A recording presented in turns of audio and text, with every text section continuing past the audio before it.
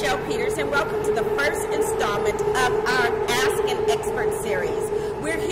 today to discuss groundwater with Jeff Gilman, who has been the San Francisco Groundwater Supply Project Manager for the last 11 years. Okay, so kicking this off, I know San Francisco's high quality water comes from Hetch Hetchy Regional Water System, which combines water from six reservoirs in California and serves 2.6 million people.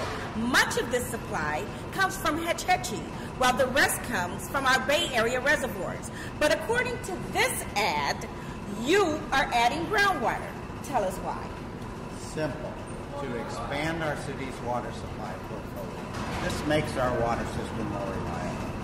We've just come through a pretty significant drought and can't be sure when the next drought may occur.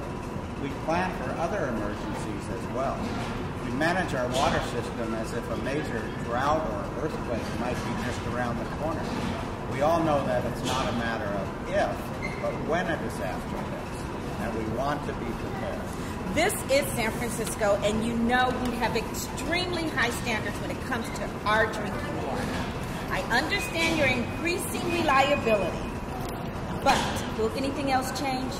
Now, before you get too anxious, know that our groundwater has been filtered through hundreds of feet of sand, clay. We're adding this high-quality groundwater to our current mixture at a low rate, beginning with only 3% and the groundwater in the new blend will slowly increase over the next five years. We will continue to serve high quality water. So why are we expanding our water supply portfolio now? Developing local supplies like groundwater is a smart way to plan for today, tomorrow, and generations to come. Also, in an emergency, groundwater alone can be relied upon to serve the city. So while you may take water for granted, we don't. We work hard to make sure you have high quality, sustainable, and reliable water now and for generations to come. So the people will want to know, will this compromise the taste in our amazing coffee? No.